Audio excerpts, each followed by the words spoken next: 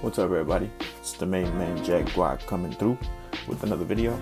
And um, today we got an unboxing. This is uh, a spec book, a book that I'm pretty hard on right now. I'm pretty uh, excited about this spec book I'm going to be showing you guys for sure.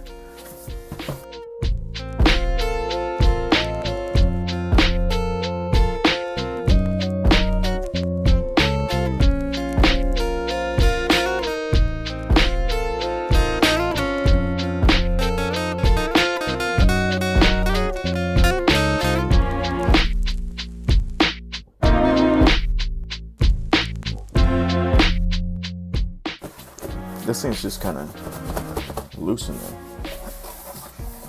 I don't know about that. I would at least put like newspaper trash or something, just so it doesn't bounce around. I do appreciate the double board. See that?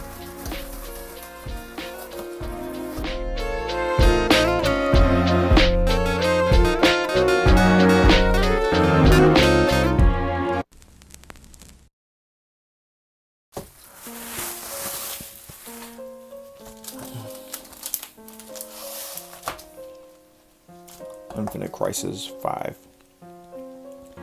Um, I really do dig this one. Um, you guys can watch that video. I'll put it down in the link down below. If you guys want to see why I'm specking on this book. For me, this is going to be like the next Ultimate Fallout 4. The next big spec. And uh, I know right now we're like in dangerous times with this market.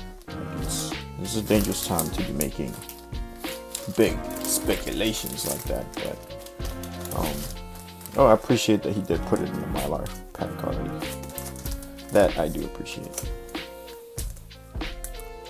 And, uh, anyways, I think this is going to be the next big book, but I think this is going to be like bubble safe or correction safe because it's being overlooked right now, right? So it's, I don't think um, we're in big danger of losing value here because I believe that mo- the best is yet to come for this book. We still need a we still need a casting. Once that casting, we're probably gonna see a bump. Start getting more ideas. Once we get a little bit better idea of what the DC world is gonna look like, we'll be better. I also find it kind of odd that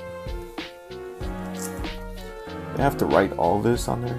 Two different covers exist, one by George Perez and one by Jim Lee. Like that's kind of odd, you know. Like no one ever like, no one ever says that.